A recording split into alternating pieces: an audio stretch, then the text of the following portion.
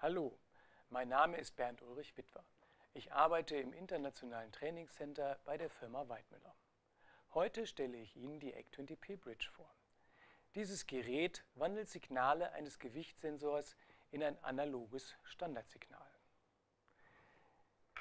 In diesem Sensor ist eine Widerstandsmessbrücke eingebaut. Solche Widerstandsmessbrücken werden zum Beispiel in Kränen und auf Bühnen und in Aufzügen zur Gewichtsmessung eingesetzt.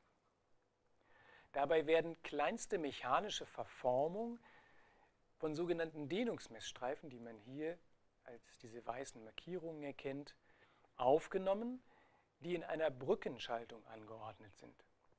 Mit dieser speziellen Schaltung können die kleinen Widerstandsänderungen der Dehnungsmessstreifen zuverlässig gemessen werden. Mit zunehmendem Gewicht nimmt auch die Ausgangsspannung proportional zu. Da die Messbereiche der verschiedenen Sensoren unterschiedlich sind, verfügt der EC20P über entsprechende Einstellmöglichkeiten.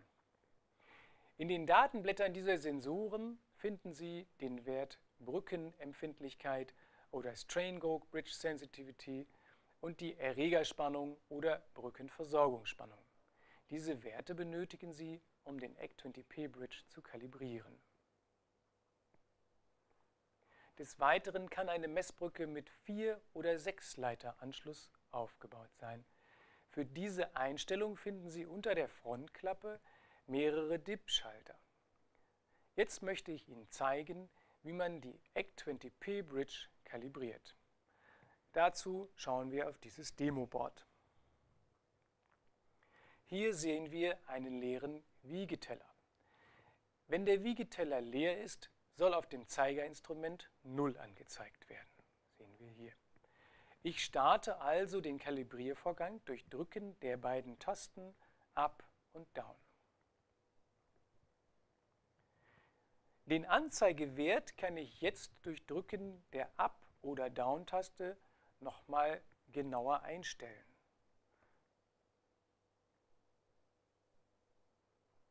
Wir sehen, er steigt jetzt hier. Ich stelle ihn für unseren Beispielsfall wieder zurück auf 0.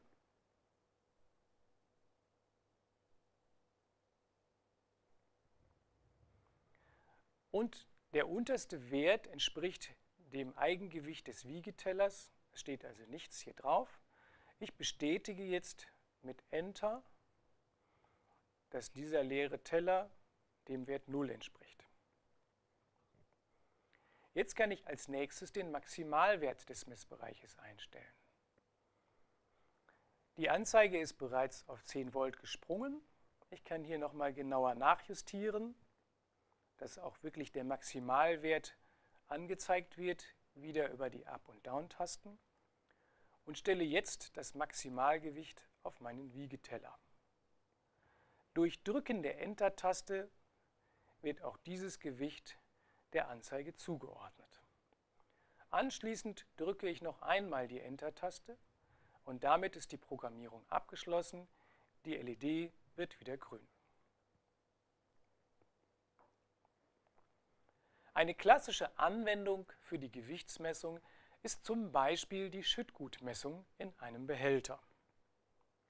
Ein Behälter mit einem unbekannten Leergewicht kommt in die Befüllposition und da wir nicht den leeren Behälter messen wollen und wir bereits einen Ausschlag auf unserer Anzeige sehen, nutzen wir die sogenannte Tara-Funktion, um die Skala wieder zurückzusetzen auf 0.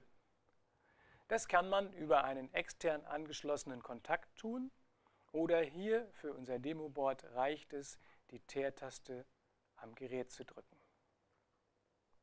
Sie sehen, die Anzeige geht zurück auf 0. Jetzt kann der eigentliche Messvorgang starten und wir messen nur das tatsächliche Füllgewicht des Schüttgutes.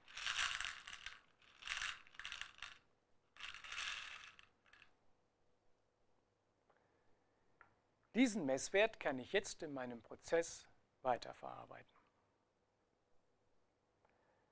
Sollten Sie einmal kein Maximalgewicht zur Verfügung haben für die Kalibrierung, so reicht auch ein beliebiges Referenzgewicht. Sie müssen nur dafür sorgen, dass der Wert auf Ihrer Anzeige dem Wert des Referenzgewichtes entspricht.